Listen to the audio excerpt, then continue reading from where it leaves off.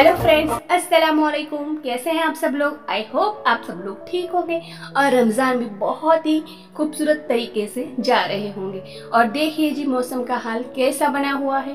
Phone में धूप नहीं आ रही, लेकिन बहुत ज़्यादा कड़क धूप निकली हुई है और बहुत ज़्यादा शदीद गर्मी हो रही है। तो चलते हैं अभी किचन की तरफ़। आप मौसम का लुत्फ उठाइए। और आज हम बनाने वाले हैं मिल्क जेली जो बहुत ही ज़्यादा अच्छी बनती है। और इसमें एक पाउच में चार पाउच आते हैं छोटे छोटे तो एक पाउच हमने डाल दिया है अलग अलग फ्लेवर के आते हैं। और थोड़ी सी शक्कर हम डालेंगे, चार या पाँच चम्मच। आप जितना मीठा खाते हो, उतना ही डालिएगा।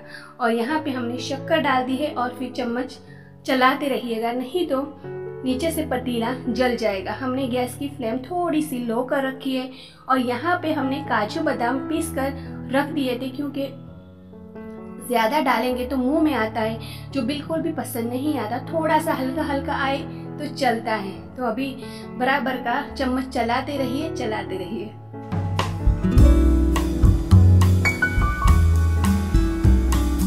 और आजू बाजू वाली जो मलाई है वो भी हम उसमें डालते रहेंगे।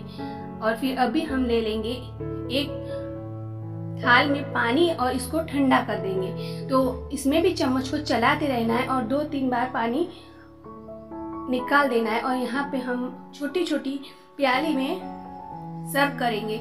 देखो, दूध भी दूध भी नीचे गिर पड़ा था और ये है शुगर स्टिक जो बच्चों को बहुत ज़्यादा पसंद आती है। तो इस पर थोड़ी सी स्प्रिंकल कर देंगे और थोड़ा सा काजू बादाम भी डाल देंगे। फिर ये छोटी छोटी प्याली को फ्रीज में रख देंगे और सबको देंगे इन तो यहाँ पे काजू बादाम काजू बादाम हमने डाल दिया है और देखिए फाइनल लुक कैसा है। बताना ज़रूर और आपको कैसा लगा और आपको पसंद आया हो तो प्लीज़ लाइक भी कर दीजिएगा। और यहाँ पे हमने इफ्तार की तैयारी करने लगे हैं, क्योंकि बहुत ज़्यादा थकान हो गई थी, मेरा कुछ भी बनाने का मन नहीं था तो हमने बाहर से ही सब कुछ ऑर्डर कर लिया और बाजू से भी थोड़ा बहुत आ गया था। और और अगर आपको ये वीडियो अच्छा लगा है तो please like share and subscribe शुक्रिया।